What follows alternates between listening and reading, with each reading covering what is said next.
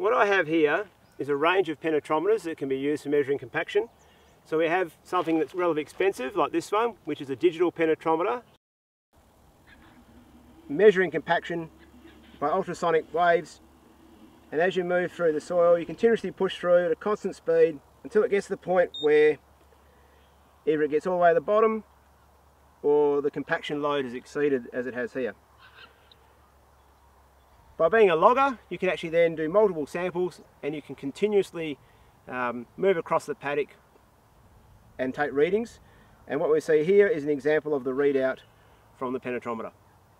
This is a pressure gauge style penetrometer. It has a gauge to read the pressure internally. Like other penetrometers, it's just pushed into the soil.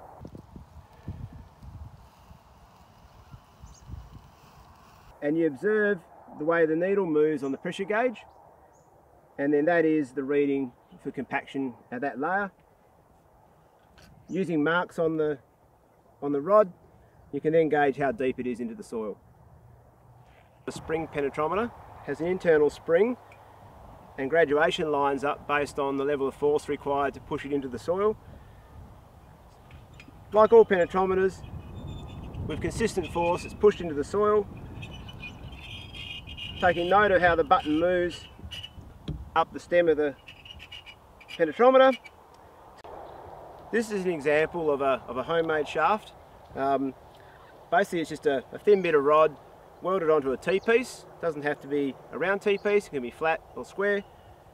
And these are very handy, but in terms of using these, you're using your hands and your muscles to measure the resistance. So by using it, just pushing into the soil, you're feeling the pressure through your arms and through your hands,